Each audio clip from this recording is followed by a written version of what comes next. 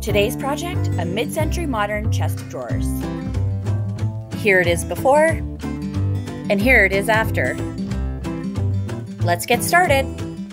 When I start any project, I always try to remove the base from the piece. This makes removing the original finish so much easier when I can access it from all angles.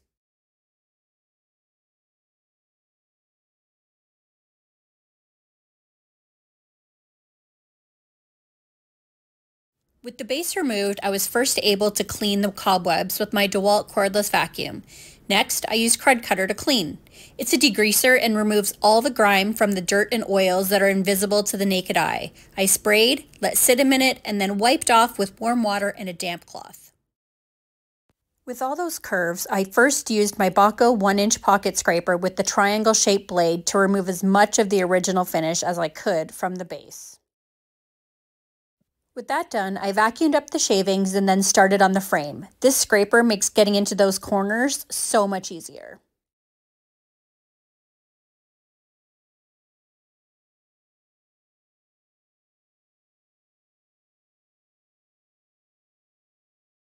To protect the curves, my Surfprep sander with its foam pads was perfect. I started with medium and then moved to fine.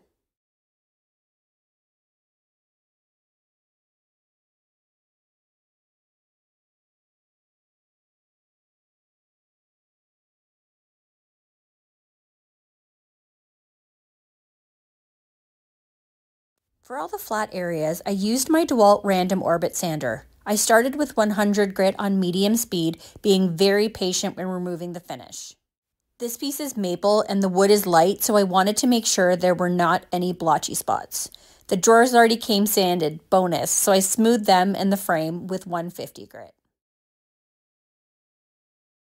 With the original finish removed, I vacuumed up all the sanding dust with my DeWalt cordless vacuum.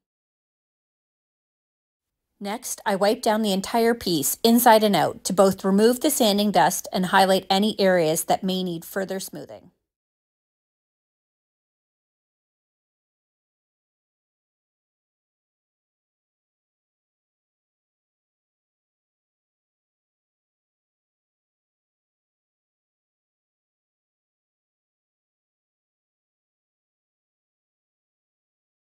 I really wanted to showcase this beautiful light raw wood, but because the wood will have a yellow tone when a traditional oil is applied, I chose Osmos Polyx oil in raw.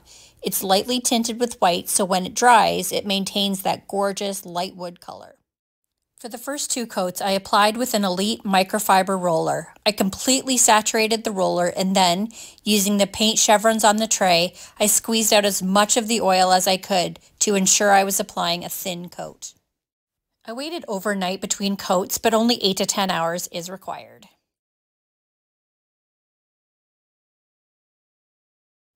This finish is similar to using a paint wash, but it leaves a much more consistent finish and is way less messy.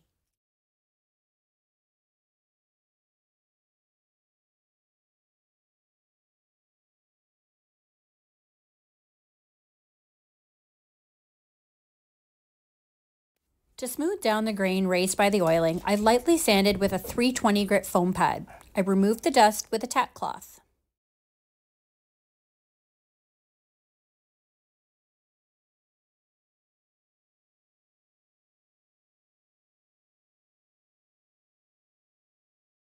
For the third and fourth coats, I used an Osmos Super Pad to buff in the Polyx oil and raw. I initially just used the pad because I forgot that I had a pad holder.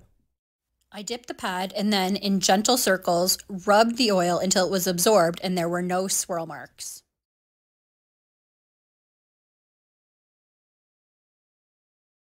After waiting overnight, but only 8 to 10 hours required, I applied the fourth and final coat.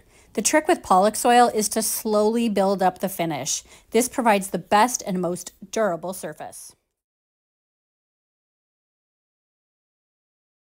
After the final coat dried, I sanded with 2000 grit because my grandpa, who was a woodworker, told me that it makes the wood feel smooth like butter. I wiped the dust with a microfiber cloth.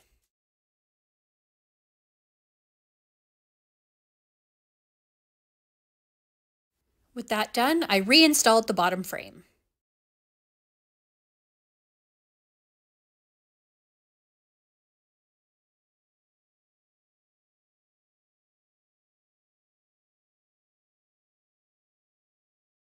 As I put the drawers in, I realized I didn't know the proper order of the drawers and that it didn't come with hardware. After a consultation with Amber from Gingy Makes, we figured it out.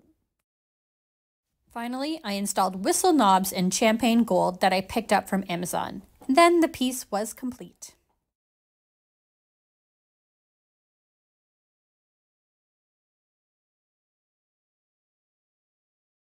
Take a look at this incredible before and after.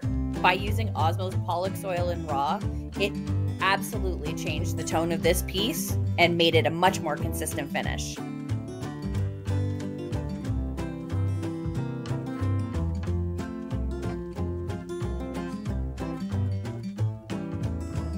Thank you so much for watching. Be sure to subscribe, like, comment, and share for more Back to Basics with Kristin Lia Restoration.